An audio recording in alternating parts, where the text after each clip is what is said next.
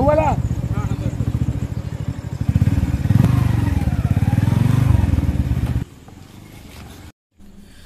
Hello दोस्तों, स्वागत है हमारे चैनल पे। हम लोग फिर से एक नए जगह पर रेस्क्यू करने के लिए आ गए हैं। दोस्तों, हम लोग आज आए हैं वाराणसी ज़िले के मिर्जामुंडा थाना अंतर्गत एक रूपापुर गाँव पड़ता है।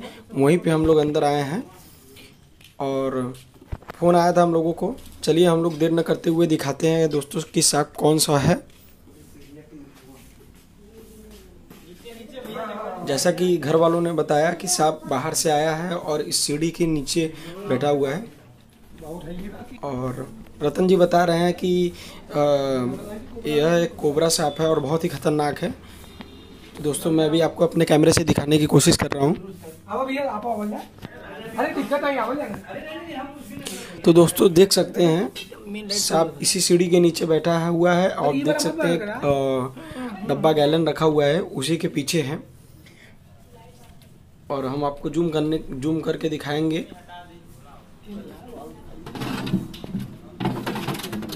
दोस्तों देख सकते हैं, यह कितना खतरनाक है। मैं बता दूँ दोस्तों, इस सांप के बारे में कि यह एक इंडियन स्पेटिकल कोबरा है और इसको लोग गाँव में गेहून भी कहते हैं। और दोस्तों, मैं बता दूँ, ये सांप बहुत ही जहरीला होता है, बहुत ही जहरीला होता है। तो आप लोग जब भी ऐसे सांप को देखें तो सावधानी बिल्कुल बरतें, क्योंकि अगर यह सांप किसी को बाइट कर लेता है और समय पर इलाज नहीं होगी तो इंसान उस इंसान की मौत हो जाएगी। तो देख सकते हैं दोस्तों कितना खतरनाक है।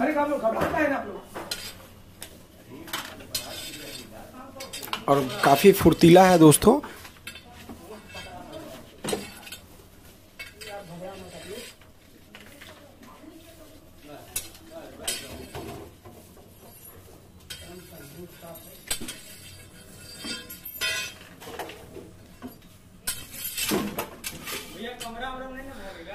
देख सकते हैं दोस्तों। जान की परवाह सबको होती है। इसी तरीके से इस सांप को भी है। लेकिन देख सकते हैं, उसके गुस्से को देख सकते हैं दोस्तों कि ये कितना गुस्सा दिखा रहा है अपना। और छोटी सी भी लापरवाही दोस्तों बहुत बड़ा हासा कर सकती है।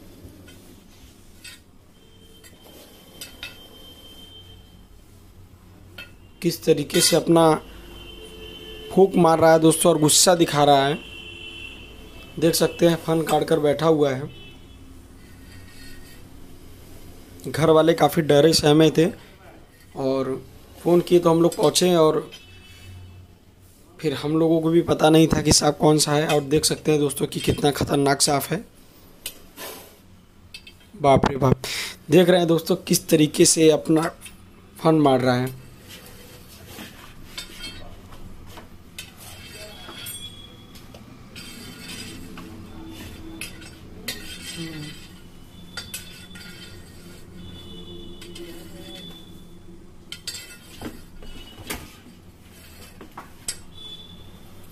तो जो दोस्तों जैसा कि हम लोग बताए हैं हर सारे वीडियो में कि दोस्तों कभी भी आप लोग इस ऐसे वीडियो देखकर कभी भी कॉपी करने की कोशिश बिल्कुल मत करिएगा क्योंकि बिना अनुभव बिना एक्सपीरियंस के अगर आप ऐसा गलती करते हैं सांपों के बारे में अगर आपको अच्छे से जानकारी नहीं है तो बिल्कुल भी ऐसा गलती ना करें। क्योंकि अगर सांप की जानकारी नहीं होगी और जहरीले सांप होंगे तो बाइट करेगा तो आप लोगों की जान जा सकती है जो अगर ऐसा कॉपी करने की कोशिश करेंगे। इसलिए ऐसा गलती करने की बिल्कुल कोशिश ना करें।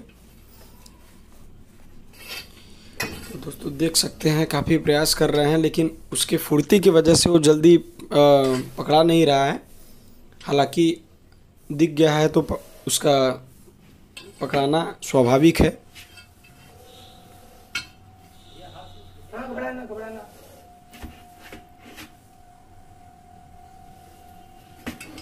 बाप रे बाप।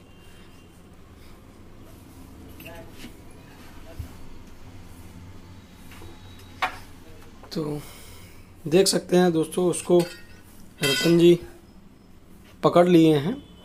और आप लोग एक नोटिस करिए दोस्तों ये सांप उनके हाथों को जकड़ लिया और बाँध दिया है।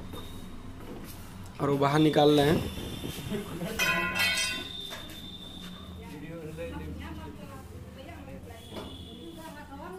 दोस्तों, आप लोगों से एक रिक्वेस्ट भी करेंगे दोस्तों कि जो लोग हमारी वीडियो को देख रहे हैं चैनल को बिल्कुल सब्सक्राइब कर दें और ज़्यादा से ज़्यादा लोगों को शेयर करें, क्योंकि हम लोग वीडियो के माध्यम से लोगों को दिखाना चाहते हैं कि हम लोग सांपों का रेस्क्यू कैसे करते हैं और उस वीडियो के माध्यम से हम आप लोगों तक जानकारियाँ पहुँचाते हैं।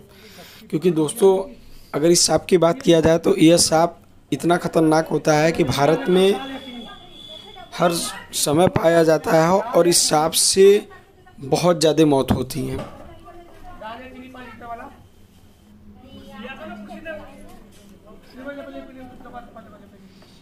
तो मशक्क़त करना पड़ा दोस्तों और रेस्क्यू भी हुआ, सफल भी हुआ। ये बहुत बड़ी बात है दोस्तों। इसकी लंबाई दोस्तों लगभग चार फुट है।